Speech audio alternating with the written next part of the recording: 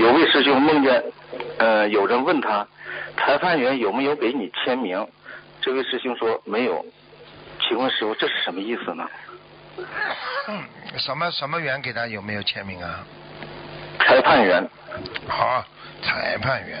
这还不懂啊就是审视你的呀监督员呀没给你签名嘛说明你还做了不如理不如法呀。